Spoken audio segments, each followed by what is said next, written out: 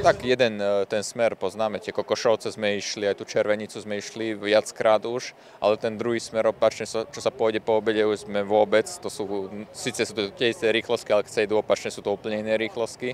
Sú to veľmi rýchle rýchlosky a uvidíme, uvidíme, ako sa nám bude dariť. Bude to náročné, bude treba držať plyn a uvidíme v cieli. Kamila a Erik Švecovci práve odchádzajú a skátajú do štartovnej rampy, aby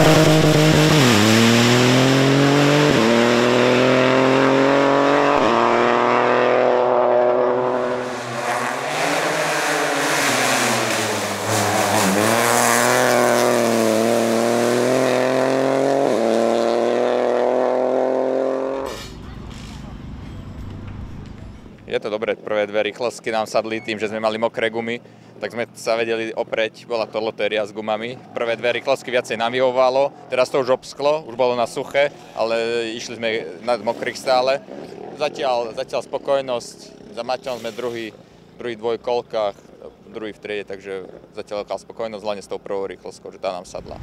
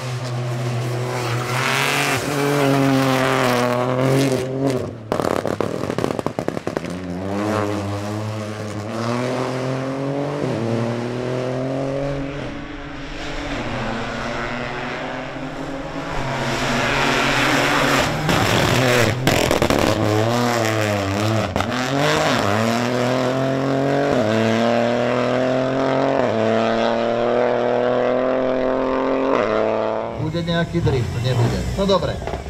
Poďme na štartovné číslo 7, Kesko Racing a... Super výsledok pre nás, eh, boli veľmi ťažké dneska podmienky, tým, že sa menilo to počasie.